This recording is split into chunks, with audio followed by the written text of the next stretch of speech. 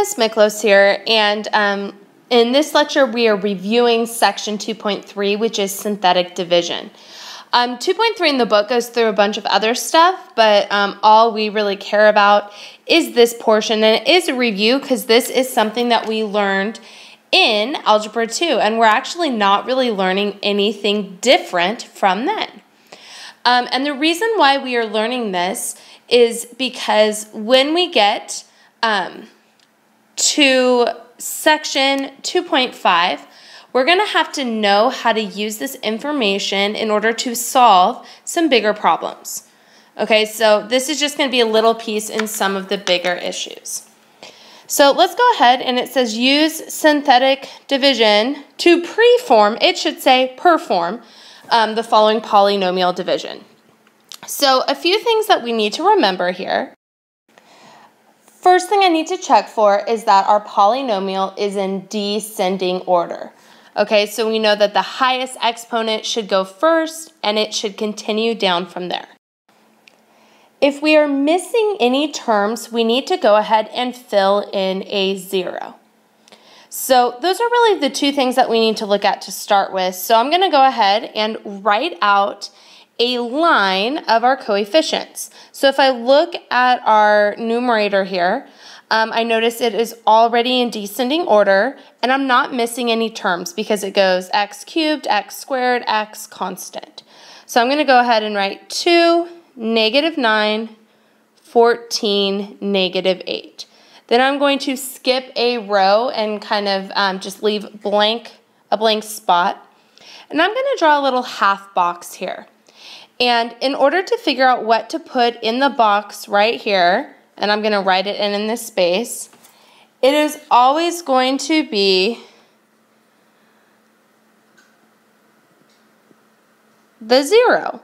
And what I mean by that is I'm taking whatever this factor is, so in this case I had x minus 3, and I need to know, okay, when is x minus 3 equal to 0? It is when x equals 3. So um, what we will notice is it's always the opposite of this number, but the real reason why we use it is because it is the zero. And the way that we work with um, synthetic division, we always begin by bringing down the first number. So I'm going to bring down that 2. Now I need to multiply. 2 times 3 is 6. And I'm going to add down my column. Negative 9 plus 6 is negative 3. And now we start the process over again. Negative 3 times 3 is negative 9. When I add down my column, 14 plus negative 9 is 5. 5 times 3 is 15. Negative 8 plus 15 is 7. And so when I'm writing this, we always start one degree lower than my original polynomial. So if I look, my original polynomial here was x cubed, so that means my very first term here is going to be x squared, and then I'm going to continue down. So I have 2x squared minus 3x plus 5, and 7 is our remainder. Okay, so key thing here is I always start one degree lower than the original polynomial.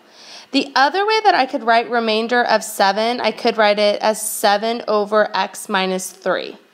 And I could add that, since it's a positive 7, I would add that onto this expression.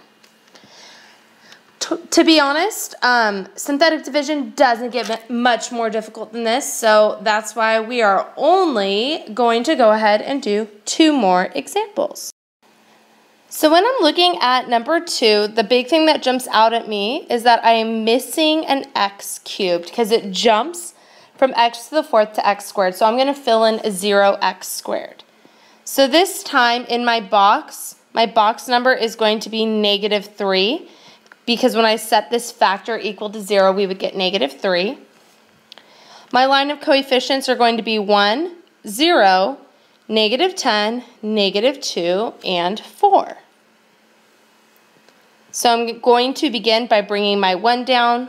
1 times negative 3 is negative 3. When I add those, I get negative 3.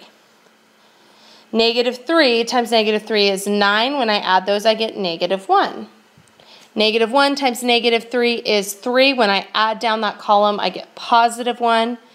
1 times negative 3 is negative 3, and when I add down that column, I get 1 once again.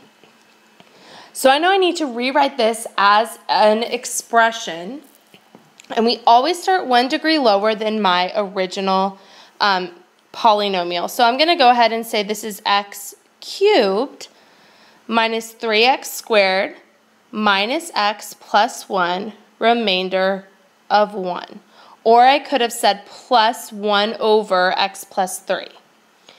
And the degree of this quotient is 3 because we notice we have this x cubed. Okay, last but not least here, we have 4x cubed plus 16x squared minus 23x minus 15 over x plus 1 half. So I'm going to go ahead and say negative 1 half is my box number because that's what I get when I set this equal to 0. My coefficients are 4, 16, negative 23, and negative 15. Notice that um, those were in descending order and I wasn't missing anything, so that's why I can go ahead and go straight into writing those. When I bring down my 4, 4 times negative 1 half is negative 2. When I add down my column, I get 14. 14 times negative 1 half is negative 7. When I add down my column, I get negative 30. Negative 30 times negative 1 half is positive 15.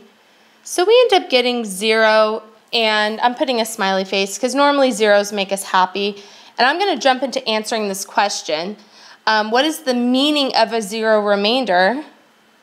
That's telling us that the box number is an x-intercept. Okay, so it's telling me in this case that negative 1 half is an x-intercept. So negative 1 half 0 would be an ordered pair on this function. Now, going back to this, that, uh, that concept kind of um, relates to what we're going to do in a few days. Um, to write this, I need to start one degree lower, so I'm going to start with x squared, so 4x squared plus 14x minus 30. Now, we may notice in this that um, it has a GCF. However, I don't want to factor it, and I definitely cannot divide by it. The reason why I can't divide is because this is not an equation. So dividing would go ahead and change what that actual polynomial is. So I'm just going to leave that as my answer. And that's about all that we are doing in this lesson.